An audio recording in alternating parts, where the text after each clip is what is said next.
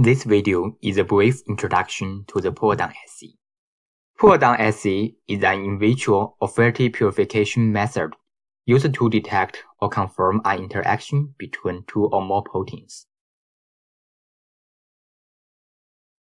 The study of protein-protein interaction is important to understand the function of the protein of interest and the relevant biological pathways. Protein-protein interaction might happen between a ligand and its receptor, an antigen and its antibody, an enzyme and its substrate.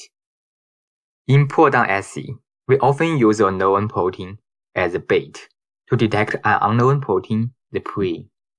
First, the recombinant DNA plasmid that carries the gene of interest fused to a specific tag is used to obtain the tagged bait protein. Then a whole cell lysate containing the tagged protein is incubated with an affinity resin. For example, if we use the glutathione S-transferase tagged bait, the glutathione resin is the ligand.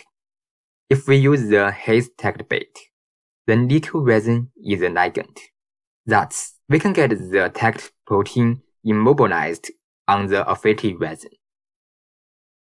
The prey protein might be obtained from different sources, such as cell lysate, purified proteins, expression systems, or in vitro transcription and translation. All the proteins except for the prey interacting with the bait will flow through the column, and those unbound proteins can be washed away.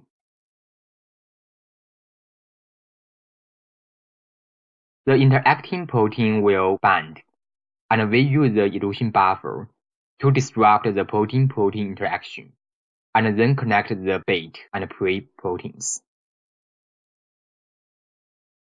Through an analysis using Western blot or mass spectrometry, a predicted protein-protein interaction can be confirmed, or an unknown interaction can be detected.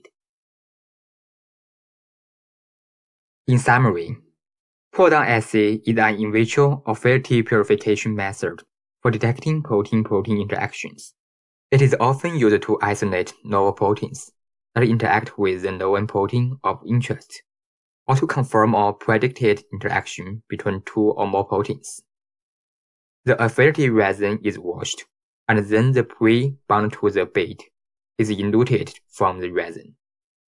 The proteins in the eluted sample can be analyzed using mass spectrometry or Western blot. Thank you for watching.